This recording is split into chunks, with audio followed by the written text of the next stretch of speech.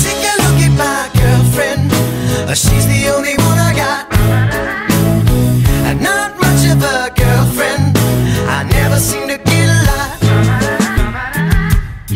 I mean, she even cooks me pancakes and Alka Seltzer when my tummy aches. If that ain't love, then I